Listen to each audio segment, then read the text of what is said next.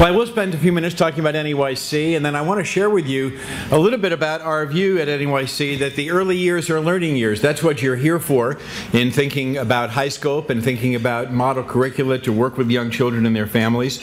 We want to talk a little bit about quality this afternoon, and the mantra that I use about quality is that quality matters.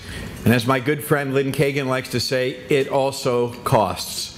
Quality matters and quality costs. We'll talk a little bit about developmentally appropriate practice, a little bit about standards for quality. I want to mention our accreditation programs and our efforts in that regard. And then to think with you a little bit about what some of the critical and evolving issues, evolving critical issues there are in our field of early childhood education.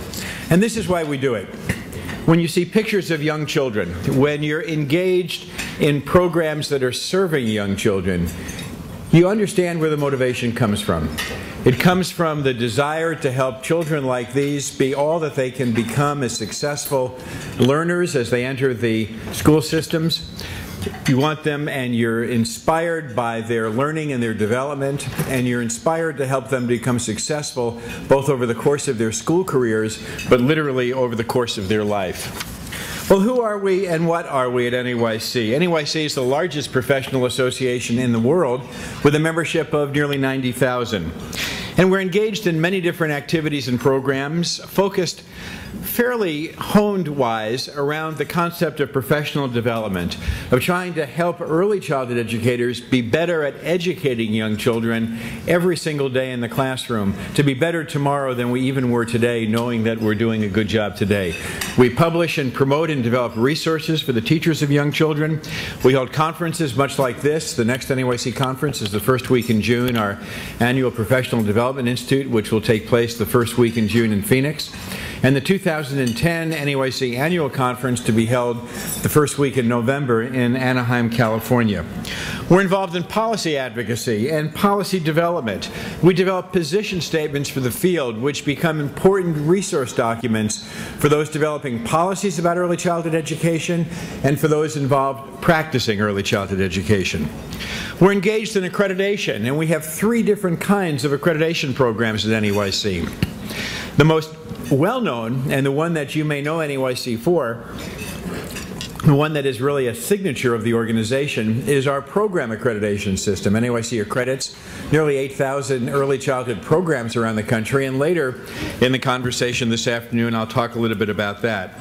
But we also accredit programs in higher education, programs at the associate degree level, programs at the baccalaureate level, and programs at the graduate level. And our focus is on development. Our focus is on development and learning. We know that there's an achievement gap. The achievement gap is really, in my view, a gap about readiness. A gap about how do we help our children to start well, and how do we help them to continue well in their education, and how do we help them to develop well over the course of their life. A well-known book about four or five year, years ago was published by the Economic Policy Institute, which talked about inequality at the starting gate. That talked about this notion of the readiness gap that exists, particularly for children who aren't from advantage. And what we know is that that gap widens for these children, particularly for African American and Latina children from lower SES communities, for economically disadvantaged children more generally, and for children who come from families for which there is low parental education. One of the anecdotes for this readiness gap is high quality early childhood education. The research tells us and the research demonstrates that high quality early childhood education can narrow that readiness gap, could bridge that readiness gap.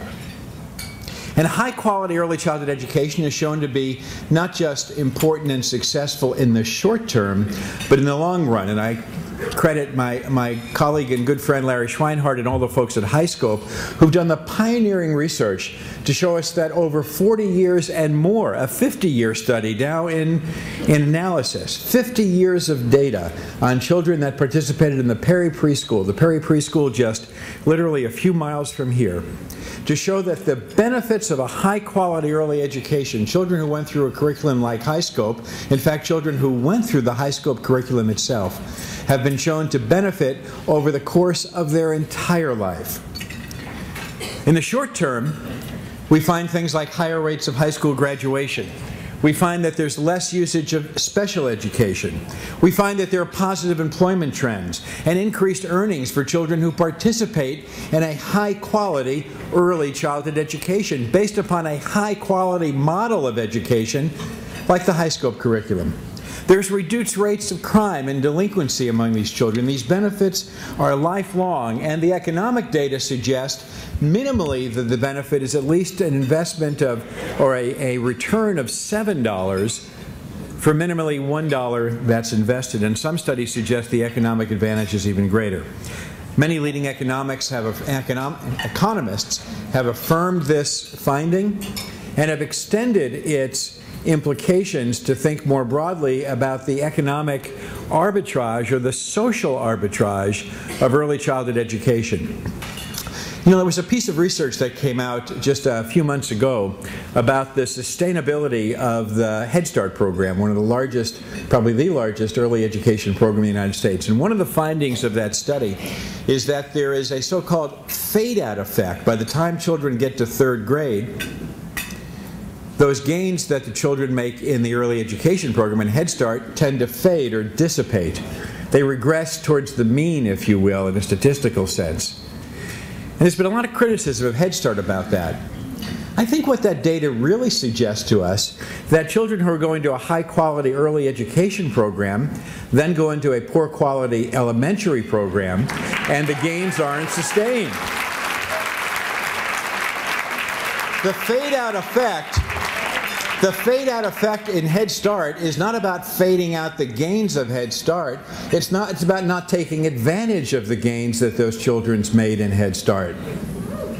And that's what we need to do in this country. That's what we need to do not only in the United States but around the world. We have to catapult the gains that children receive in a high quality early education, and we need to accelerate those gains as they move into other parts of their education because quality matters and quality costs.